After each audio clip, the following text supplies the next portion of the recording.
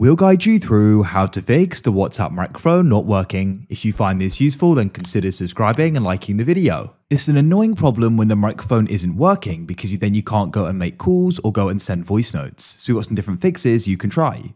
So to get started, you want to come out of WhatsApp like so, and you want to go and swipe up and then just go and close it and then try opening it again. Sometimes doing that can go and solve the problem. If it still doesn't, then what you need to do is go and open your settings.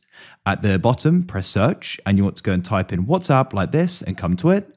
Make sure that it can go and access your microphone. You can see there it's already switched on. If that still doesn't go and solve it, then what you want to try doing is performing a forced restart. Press the volume increase button, then decrease, and you hold down the side power button. Shortly, your phone screen will go black. Keep it held down until you see the Apple icon. It will then come back on, and then what you can do is you can go and return to WhatsApp and go and see if it solves it, and then hopefully it is.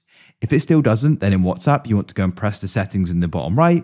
And then what you want to do is go and press search at the top and go and type in backup and find chat backup. Press backup now and let it back up. When it's complete, go and find WhatsApp and tap and hold on it and you press remove app and you can go and delete it. We've done a backup of it so we can go and recover the chats. Now go and open up your app store and you can go and download it again. When it's finished, you can open it up and set it up again, and hopefully now it'll be working. If you found this useful, then consider subscribing and liking the video.